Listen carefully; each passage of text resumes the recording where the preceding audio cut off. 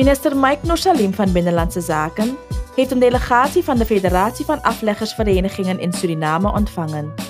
Dit bezoek is in het kader van de vervolggesprekken die de bewindsman individueel heeft gehad met de verschillende religieuze groepen en organisaties.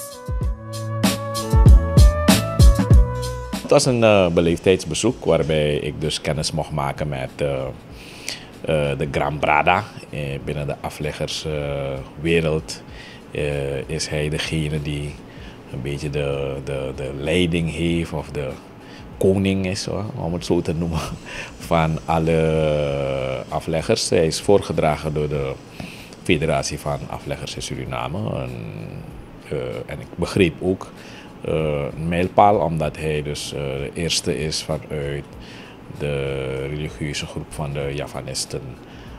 Dat is ook dus voor hun een mijlpaal. En we mochten aanhoren wat de rollen of de rol is van de Gran Bradas. We mochten aanhoren wat de werkzaamheden die de, de afleggers allemaal uh, doen om, om onze geliefden die ons voorgaan, om een waardige afscheid, een waardige begrafenis te geven. En we hebben ook nagedacht over hoe wij als overheid, als, uh, ja, als overheid en de faciliterende rol die we hebben. In, in onder andere de, het zaakje van Lantiberisch en hoe we, hoe we dat beter kunnen, uh, de samenwerking kunnen verdiepen. Niet alleen, maar hoe wij het zaakje kunnen professionaliseren. We hebben ook mogen horen de ze hebben ook een vaccinatiecampagne gehad om zichzelf te beschermen tegen allerlei ziekten in samenwerking met het BOG. Dus je ziet dat als het gaat om afleggen, dat ook de overheid een bepaalde rol heeft te vervullen, misschien in faciliterende zin in bepaalde gevallen. En is het ook goed om bij zo'n uh, zo, zo groot, uh, groot uh, laten we zeggen, benoeming, dat wij ook niet alleen worden gekend, maar ook kunnen nadenken hoe in de nabije toekomst de samenwerking met die overheid te professionaliseren. De afvaardiging bestond uit Harold Positico, voorzitter van de Federatie Javanisme Suriname, tevens Gran Brada, Gerald Eingaard en Anne-Roos Abendanon, waarnemend voorzitter respectievelijk assessor van de Federatie van Afleggersverenigingen in Suriname. Tijdens het onderhoud heeft de delegatie de bewindsman inzicht verschaft over een aantal zaken waarmee de afleggerswereld zit, als ook de activiteiten die zij als vereniging hebben ontplooid. De minister is ook geïnformeerd over de titel van de Gran Brada, welke volgens de vertegenwoordiging van de Afleggersfederatie wordt beschouwd als de hoogste graad binnen de afleggerswereld.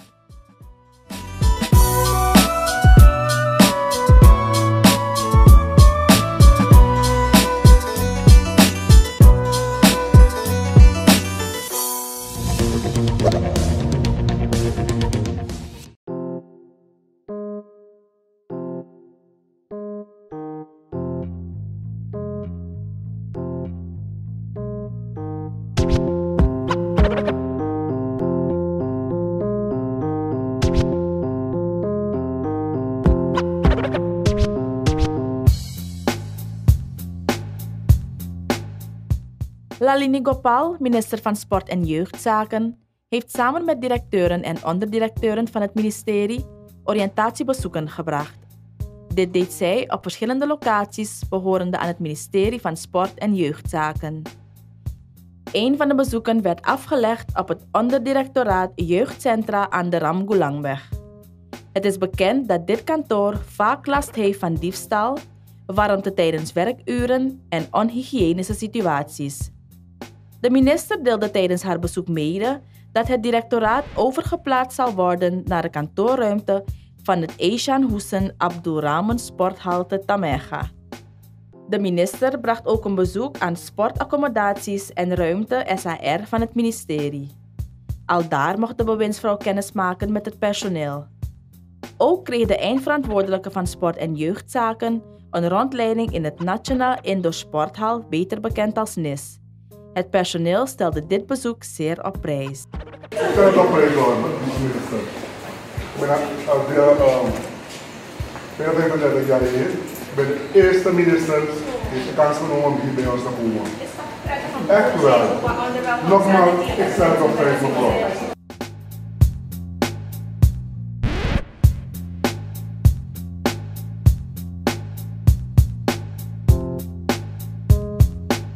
Een locatie welke zeker niet ontbrak en niet weg te denken is in de sportwereld, is het Willebrod Axwijk Sportcentrum voorheen SOSES. Volgens de ambtenaren is heel gauw verandering nodig op hun werklocatie. Het gaat onder andere om de afdeling beheer en onderhoud. De minister beloofde de ambtenaren dat zij betere dagen tegemoet mogen zien. Ook de afdeling nieuwbouw en conditionering is onder de aandacht gebracht van de bewindsvrouw. Het bezoek werd afgesloten bij het gebouw dat in aanbouw is, maar vanwege omstandigheden de werkzaamheden gestopt werden. Dit is echt helemaal geen ruimte om te zitten. Ik, ik, ik, weet niet wat ik moet zeggen. Maar uh, we gaan eraan werken om een andere locatie voor u te zoeken. Ik vraag nog even uw geduld. We gaan het even uitzetten met de directie en kijken hoe we daarop kunnen inspelen. Maar ik stel het zeer op prijs dat jullie onder deze omstandigheden toch nog werken. Ja? ja. Oké, maar we gaan er alles aan doen om dit te veranderen, want dit kan niet. Onhygiënisch. Ja, nee, dit, dit is, ja, ik, ik kan niet.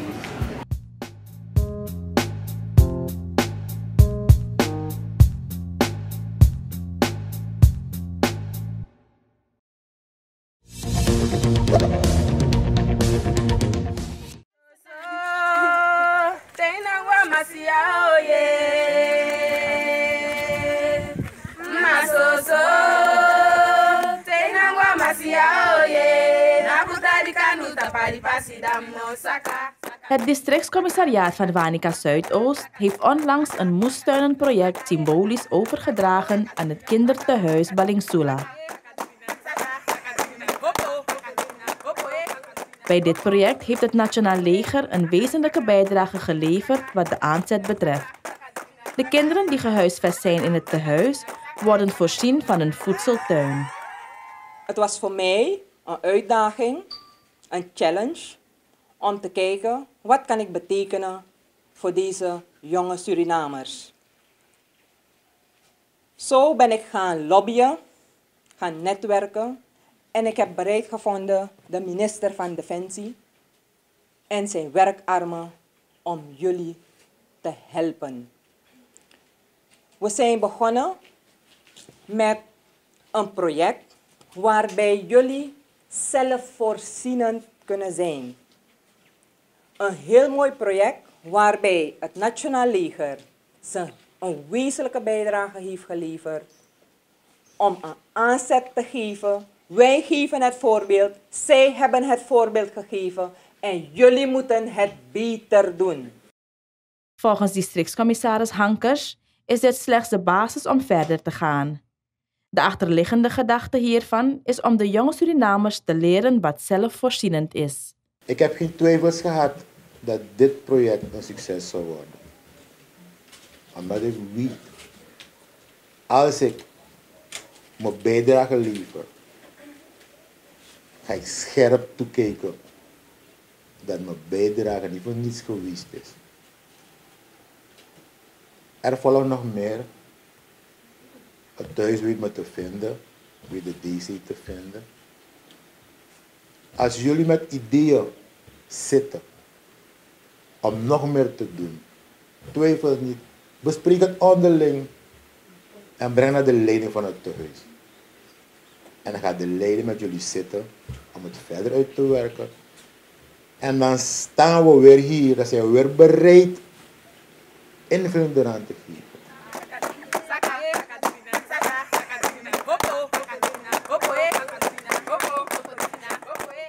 Uh, ik zie de kinderen als mijn eigen kinderen. Meestal probeer je die rol om te keren.